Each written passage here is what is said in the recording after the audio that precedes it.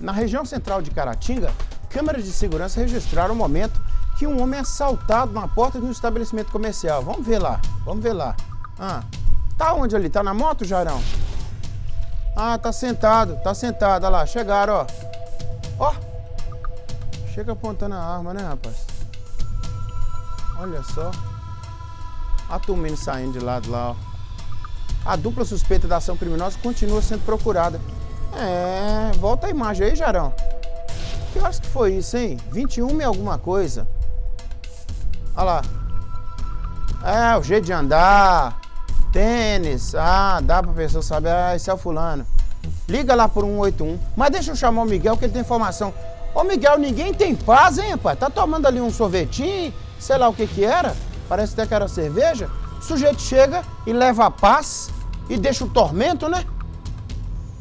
É isso mesmo, Nico. Hoje em dia, dificilmente, algumas pessoas não têm tanta liberdade de fazer um lanche, de almoçar, de jantar, beber cerveja e a criminalidade, infelizmente, está presente no nosso meio, viu? Mas este caso aconteceu ontem à noite, mais precisamente às 9h20, em um restaurante que fica na rua Marechal Deodoro da Fonseca, na região central de Caratinga, que inclusive é uma rua muito conhecida, muito movimentada, que dá acesso a vários bairros lá em Caratinga. Né? Todo o crime foi registrado por câmeras de segurança e as imagens são claras, mostram um homem e uma mulher sentados do lado de fora do estabelecimento, conversando, quando de repente chegam dois homens de capacetes, armados, anunciam um assalto, roubam o cordão de ouro da vítima e um aparelho celular.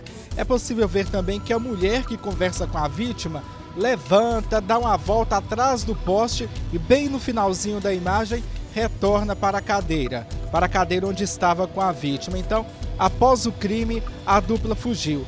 Só que aí, depois que a polícia fez o rastreio do aparelho celular, foi localizado.